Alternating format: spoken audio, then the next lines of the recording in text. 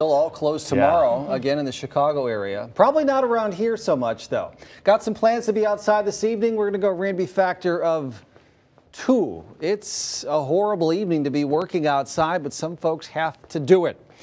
There's a wind chill advisory for tonight for much of the area. There's still a wind chill warning for another hour or so for some of western Iowa. This goes through the night until 9 a.m. tomorrow. The Wind chills 15 to 25 below zero at time. This is a forecast of wind chills. 15 below, uh, it's Omaha at 6 o'clock, 16 below at midnight, 13 below at 8 a.m., and then not so bad by later in the afternoon. And then the wind chills are not so much of an issue tomorrow night as temperatures climb a bit as we head into Friday. And then Friday afternoon, we're above freezing, some spots into the 40s. So far, zero has been the high, 14 below is the low. That low is not a record, but the record cold high temperature for today is one. We didn't make it up to one in between hours, that's going to be a new record, record low high temperature. Uh, just some flurries around Omaha today, but just west of town, there were some snow showers, a dusting to half an inch around the Lincoln area. Look at that. See the sun through the clouds. Nice view from the Lewis and Clark Monument on the north side of Council Bluffs. Currently, one below zero. Dew point, 12 below zero.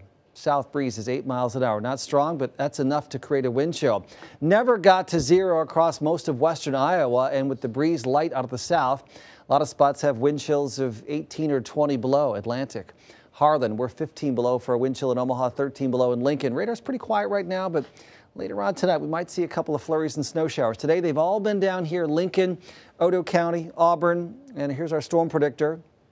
Clouds continue, especially after midnight. We'll get some flurries and snow showers to move into the Omaha Metro. There they show up at 5, 6, 7, and then they move off to the east of us. But the clouds could linger for a good chunk of the day on Thursday. Cold high pressure slowly edging away.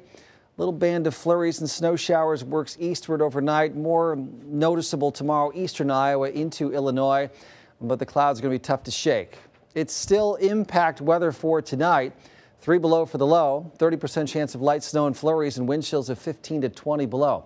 And still a 12 below wind chill at 8 a.m. tomorrow with clouds, mostly cloudy midday, maybe some breaks in the clouds.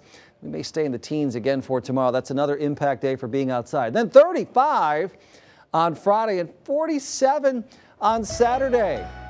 Yeah, Groundhog Day. Will Punxsutawney Phil see his shadow scaring him inside for six more weeks of winter or Will it be cloudy and he'll portend an early spring? Maybe a few sprinkles or showers late Sunday, but a high of 52. Isn't he always wrong? I, I don't know. It's fun though. Come on, it's just part of the weather.